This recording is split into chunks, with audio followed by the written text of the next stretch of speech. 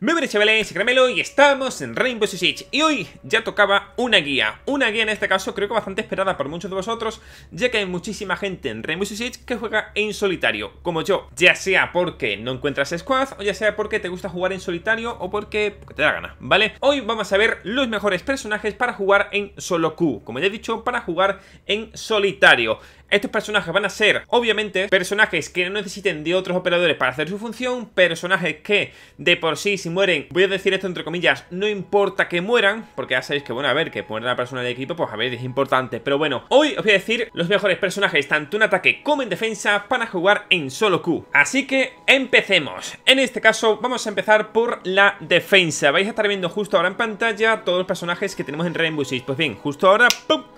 Tenemos solamente los personajes que serían perfectos para jugar en solo Q. Como veis, casi la gran mayoría son personajes rápidos, casi la gran mayoría son personajes roamer, casi la gran mayoría son personajes para estar fuera de punto, porque son personajes que, entre muchas comillas, si mueren no pasa absolutamente nada. Además tienen muy buena autonomía, es decir, que pueden sobrevivir por ellos mismos sin necesidad de nadie. Por ejemplo, vamos a empezar por Pulse. Pulse es un personaje que obviamente tiene ese sensor de latidos que puedes spotear o puedes ver a través de las paredes. Su función es más que clara, es estar fuera de punto, casi siempre va a solo. ¿Por qué? Porque es su estilo. Tiene buen armamento, tiene buenos dispositivos, tenéis como ya sabéis C4 y tiene muy buena habilidad. Así que este es un buen personaje para jugar en solitario. También, como estáis viendo, tenemos a Valkyria. Más de lo mismo, un personaje para jugarlo tanto para ti como para el equipo. Por eso lo he puesto aquí un poco, bueno, ¿vale? Como esa comilla que no pasa nada si muere.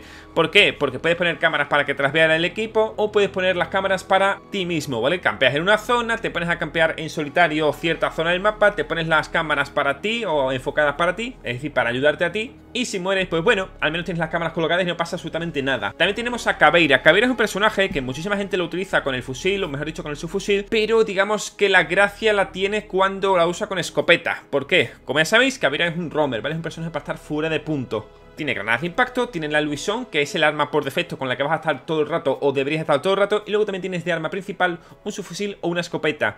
De normal, gente, yo la escopeta la utilizo siempre. ¿Por qué? Porque para larga distancia ya tengo la pistola. Me falta algo para muy cerca, es decir, para cuando haya mucha aglomeración de enemigos. En este caso serían la escopeta. También la utilizo para abrir temas de rotaciones y tal. Me dice, pero caramelo, para eso tienes las granadas y tal. Ya, pero es que las granadas son para una salida de emergencia o para una erupción. Que quiero salir por una ventana, pues tiro una granada de impacto y salgo por ella obviamente con la pistola en la mano. Porque como ya sabéis, cuando tú pones la habilidad, con lo primero que se hace es con la pistola. Entonces, ¿para qué vas a estar cambiando todo el rato de habilidad entre pistola y arma principal? En mi caso, yo siempre recomendaría la, la, escopeta, pero bueno, es un personaje bastante bueno para solo Q, porque su función literalmente es estar en solitario. Vamos a pasar también con Lesion. Para mi gusto, el mejor jugador, o mejor dicho, el mejor personaje para jugar en solo Q. ¿Por qué? Tiene muy buen armamento, la velocidad, bueno, es un velocidad 2, así que bueno, no podemos quejarnos tampoco, pero su habilidad es perfecta para jugarlo en solitario, ¿vale? ¿Por qué? Mucho ya sabéis que en este caso cuando jugamos con gente, ¿vale? Aunque nosotros estemos jugando solo, no podemos confiar en nadie. ¿Por qué? Porque imaginaros que yo estoy cubriendo una posición, de repente detrás mía sé que tengo un compañero que me está cubriendo esa posición, pero de repente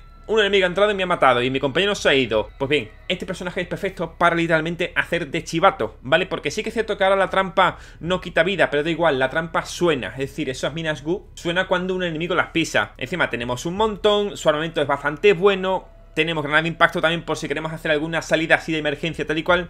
Es un personaje perfecto para jugar en solitario. También tenemos a Ela, aunque Ela tampoco... A ver, se considera solo Q. Uf, a ver, eh, gente, os lo pongo desde aquí o lo digo desde aquí. Personajes para mí que sean jugados como solo Q, es decir, que, sean exclusivos de jugar en solitario, son aquellos que puedes jugar sin depender de absolutamente nadie. Ela, por desgracia, sí, se puede jugar en solitario, no pasa nada si muere, pero si os dais cuenta no puede hacer rotaciones, no puede escaparse de alguna posición rápidamente con granadas de impacto, con tal, ¿vale? Entonces por eso como que, ah, sí es cierto que se puede jugar en solitario porque tiene una habilidad bastante buena y es la de colocar esas trampitas. Sería una especie de lesión, pero sin granadas de impacto para abrir rotaciones en caso de que te acorralen, ¿vale? Obviamente, ¿cómo vamos a dejar fuera a Vigil, ¿vale? Uno de los mejores roamers por el hecho de que no te pueden spotear los drones, su armamento es bestial, ¿vale? Y que sí que es cierto que la habilidad es un poco pocho a veces porque los equipos buenos lo que hacen es, vale, no te veo con el drone, pero eso que te acerca por la irrupción que aparece en pantalla.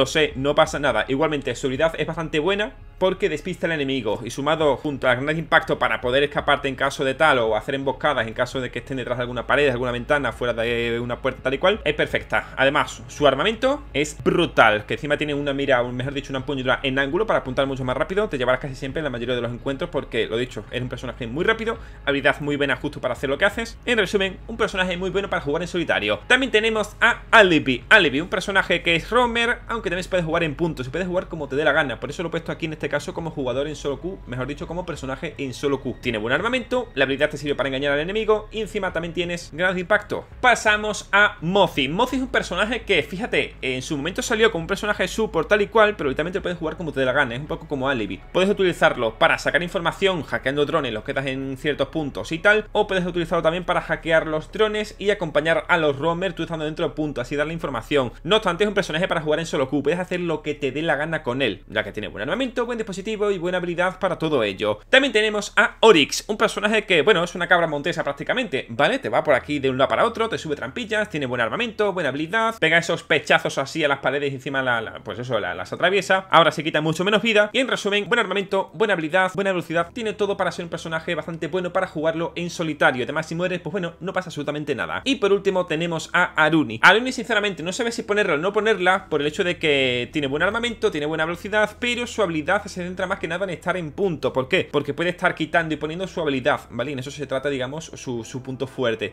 Igualmente, se puede jugar como queráis. Ahora bien, mi personaje perfecto o mi top 3 de personajes en solo Q de defensa sería en orden, ¿vale? El top 1 sería Lesion, el top 2 sería Vigil y el top 3 sería Alibi, al menos para mi estilo de juego que es bastante agresivo, de esa forma más, más un poco alocada, ¿no? Que siempre estoy fuera de punto en ese sentido cuando juego en solitario. Pero bien, ahora pasemos a los atacantes, más del mismo. Tenemos aquí el listado completo a fecha de, bueno, a fecha de cuando estoy haciendo este vídeo, son los personajes que tenemos tanto en ataque como en defensa. Y ahora vais a ver los personajes que para mi gusto son los mejores en solo Q, es decir, para jugar en solitario. Como veis tenemos a Sledge, As, Iku, Bleach, Jin, Zofia, Nock y Amaru. Vamos a empezar en este caso en orden. Sledge es un personaje perfecto porque te sirve tanto para entrar por donde te dé la gana, porque tienes ese martillo para abrir esas paredes, eh, también puedes abrir trampillas que no estén reforzadas, también puedes abrir suelos, etc. Es decir, un personaje perfecto. Su habilidad acompaña, su velocidad acompaña y su armamento acompaña, ¿vale? No puedo decir mucho más de esto porque, porque es así. También tenemos a As. As desde el minuto cero que se concibió, ¿vale? Es decir, que vino a Rainbow Six fue un personaje para suicidarlo, ¿vale? Prácticamente, al igual que Amaru. ¿Por qué? Personaje con mucha velocidad, es un personaje que su utilidad es buena, es decir, su habilidad es buena, pero digamos, no es que sea la mejor o no pasa nada porque mueras, ¿vale? Eso es así de claro. Y su armamento es bueno, aunque ahora tenga más recoil y tal, da igual. As es un personaje bastante bueno para jugar en solitario. Obviamente, si eres un jugador muy agresivo, si eres un jugador que te gusta eh, fraguear, ¿vale? Ir a por las bajas, es perfecto.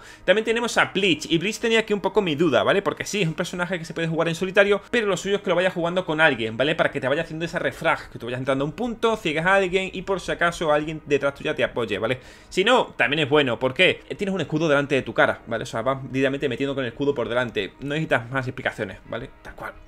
Sí que creo que hay mejores jugadores, mejor dicho, mejores personajes para jugar en solitario, pero bueno, oye. También tenemos a Iku, aunque en este caso Iku no lo hubiera metido tampoco aquí en este saco, porque Iku sí que es cierto que si muere nada más empezar, es un personaje que tiene mucha, ¿cómo decirlo? Mucha importancia, porque te puede detectar todos los aparatos, todo tal, pero bueno, igualmente lo he metido aquí porque tiene buena habilidad, aunque lo he dicho, no lo hubiera metido aquí, ¿vale? He estado comentando con otra gente, oye gente, ¿qué personaje meteríais en solo Q? Y personalmente yo a Iku no lo metería aquí, ¿vale? ¿Por qué? Por el hecho de que tiene una habilidad demasiado importante como para perderla, ¿vale? Yo el solo culo entiendo como personajes que son buenos, pero que no son importantes para el equipo, ¿vale? Es decir, que los puedes jugar en solitario. En este caso, Ico no es para jugar en solitario, al menos como yo lo veo. Pasamos también con Jink. ¿Por qué he puesto a Jink en este saco del solo Q? Por el hecho de que es un personaje que puedes romper eh, lo que te dé la gana, porque también tienes esas planchas de demolición, tiene muy buen armamento encima de esa eh, T5, no T5 es de, la, de, su compañero Lesion. Eh, T85 creo que se llama, es decir, ese fusil de asalto, ¿vale? Que tiene muchísimas balas, un cargador enorme, tiene un cargador ampliado de creo que son 80 balas, es una versatilidad, encima una arma muy buena, miras largas, cortas, velocidad bastante buena, eres inmune a tus flashes cuando tiras las cegadoras, es decir, puedes hacer lo que te dé la gana. También tenemos por aquí a Sofía, que en este caso es, lo digo desde aquí, mi personaje favorito, al menos desde que pusieron la skin de Resident Evil en el ELTE, me parece perfecto. Tiene tanto planchas como claymores, de normal se va a utilizar las planchas por lo dicho, si eres un jugador en solo Q necesitas tener, eh, digamos, una habilidad para escapar, ¿no? Por si acaso, o para abrir incluso rotaciones. Pues en este caso es las planchas. Tienes una habilidad que encima son los pepos que tienes para tunear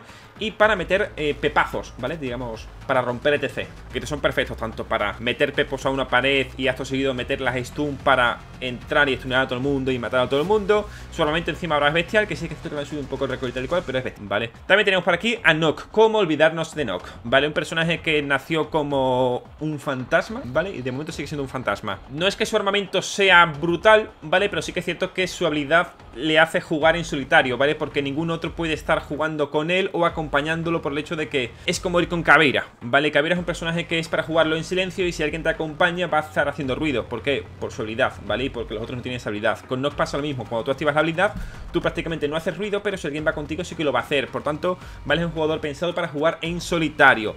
Al igual que Amaru. ¿Por qué Amaru es para jugar en solitario? Porque su habilidad literalmente es de pegarse ahí como si fuera un Spiderman, ¿vale? Por las ventanas, por edificios, ir muy rápido. Nadie actualmente puede seguir sus pasos, ¿vale? Es decir, tú te metes por una ventana, no van a poder seguir tus pasos. Que sí que alguien puede entrar igual en conjunto, tal y cual, entrando a la vez por un rappel, pero no es lo mismo. Vale, y gente, eh, mi top 3 de personajes atacantes en solo Q, es decir, para jugar en solitario, sería Sofía, Sledge y por último igual le metería una As o una Jin, la verdad, gente. Tal cual, ¿eh? Porque son, como ya sabéis, estos 3-4 personajes que he dicho, personajes que, puedes no depender de nadie. Es decir, tienes para abrir, tienes para matar, porque tienes buen armamento, obviamente, tienes buena velocidad, es decir, puedes hacer muchísimas cosas. ¿Por qué, por ejemplo, personajes como Yana no son perfectos para esto? Porque su habilidad depende de otra persona para que te haga una refrag. Sus dispositivos no te valen de mucho porque no puedes romper prácticamente nada, ni escudos a la hora de, intentar pasar por una puerta, ni trampillas, ni prácticamente nada. Por lo que, bueno, gente, espero que os haya gustado muchísimo este videito, algo así más tranquilo, más hablado, como ya lo habréis estado viendo. Espero os haya gustado muchísimo y si queréis que haga otras guías sobre otras cosas, como por ejemplo cuáles son los personajes eh, perfectos para jugar en punto, roamer, aunque eso en principio ya lo hice hace un tiempo, pero bueno, podemos repetirlo y así refrescar un poquito todo, mejor dicho, actualizarlo. Así que nada, un berrito de 5000 likes para más videitos como estos y ya sabéis que tenéis un montonazo de guías en el canal, en la lista de reproducciones, así que nada,